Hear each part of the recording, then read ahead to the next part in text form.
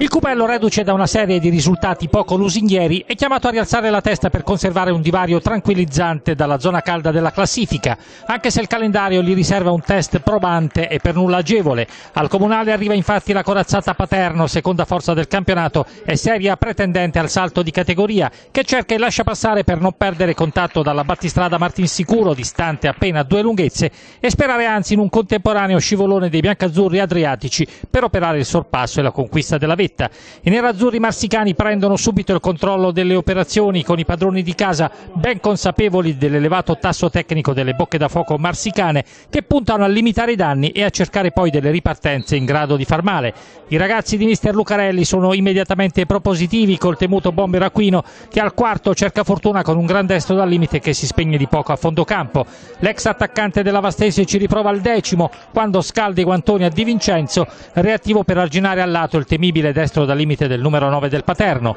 La gara non bellissima vive di fiammate che almeno inizialmente sono a preponderante matrice nerazzurra. Al ventiduesimo lo scatto sulla fascia di Di Ruocco è devastante con Di Vincenzo che si mola alla causa per uscire tempestivamente. Il pallone termina sui piedi di Aquino che prova la conclusione a porta sguarnita ma non ha fatto i conti con Berardi appostato sulla linea di porta che salva il risultato allontanando la minaccia. Il Cupello esce dal guscio e comincia a dare i primi segni della sua presenza nella metà campo rivale quando si rende insidioso con lo stacco in area di Selva Allegra che intercetta la pennellata dalla destra di D'Antonio ma non riesce ad inquadrare la porta difesa da Serpietri. Prima del rientro negli spogliatoi il Paterno trova lo spazio per una nuova infruttuosa percussione causata soprattutto dall'intervento difettoso di Di Vincenzo sugli sviluppi di un tiro d'angolo che genera una mischia in area risolta poi favorevolmente dal pacchetto arretrato cupellese. La seconda frazione di gran lunga più movimentata con una serie di occasioni sciupate dal Paterno, ma anche con qualche miglioramento nel gioco d'attacco della squadra di casa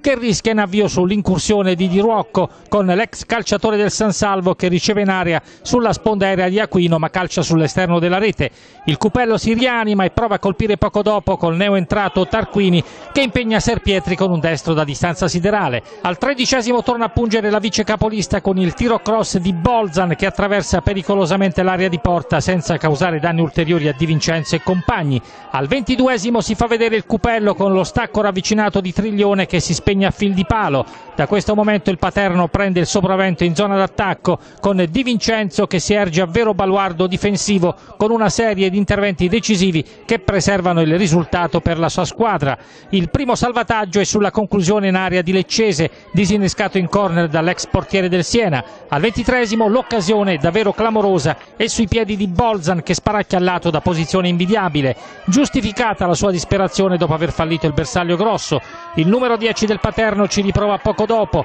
ma stavolta è Triglione a dare una mano al suo portiere, depotenziando la nuova conclusione ravvicinata del centrocampista marsicano. Il monologo del Paterno in zona d'attacco prosegue con l'affondo di Di Ruocco, autore di una caparbia iniziativa solitaria che lo porta a svariare su tutto il fronte d'attacco e dopo aver trovato il pertugio per la battuta in aria viene azzerato da un nuovo salvataggio del reattivo di Vincenzo. L'est L'estremo locale guadagna i galloni di migliore in campo rendendosi protagonista di un nuovo salvataggio al minuto 36 su un nuovo affondo dello stesso Di Ruocco che in questo caso cerca la rasoiata dal vertice d'area. È l'ultima offensiva del Paterno che nei minuti finali cede il proscenio alla squadra di mister Di Francesco, insidiosa al 39 con il pallonetto di Marinelli che grazie a Serpietri indirizzando la sfera a fondo campo va decisamente meglio al suo gemello d'attacco Tarquini che in pieno recupero è protagonista della zampata risolutrice che fa rimanere i tre punti a Cupello. Per il Paterno non c'è più tempo di reagire e al triplice fischio finale gli unici a gioire sono i padroni di casa,